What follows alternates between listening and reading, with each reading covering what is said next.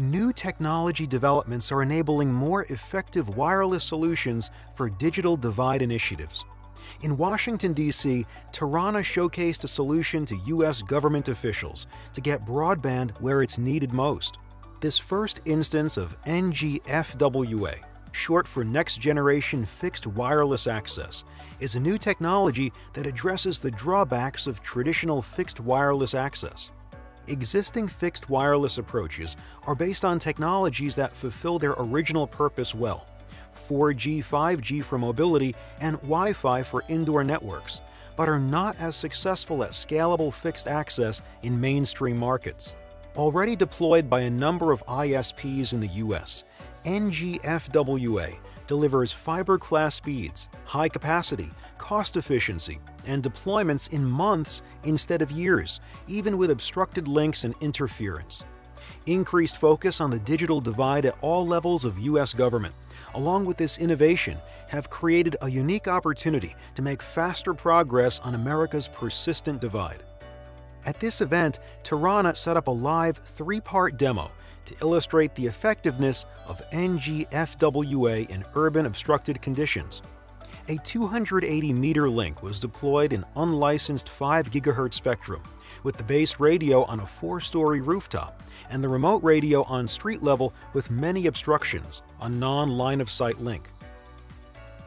To produce interference, 10 laptops and 2 access points running at 5 GHz on the same channel as the deployment link were also set up just meters away from the remote radio in the rain.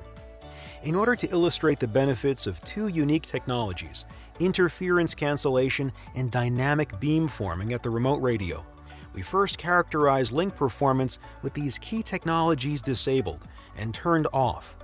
We start our performance measurements with heavy unlicensed interference coming from the nearby laptops also turned off, and record a downlink throughput of approximately 200 megabits per second.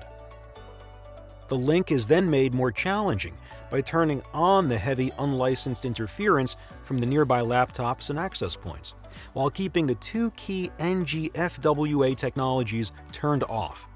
Given the combined challenges of non-line of sight and co-channel interference, the link performance dropped to unstable levels, achieving between 25 and 50 megabits per second of downlink throughput. This is illustrative of the kinds of degradation expected to occur in these environments. The last part of the demo is where the impact of these unique technologies is shown. When enabling NG-FWA interference cancellation and dynamic beamforming at the remote radio, the link is transformed from a barely usable 25 megabits per second link to a stable, high-performance connection, now achieving 450 megabits per second of downlink throughput.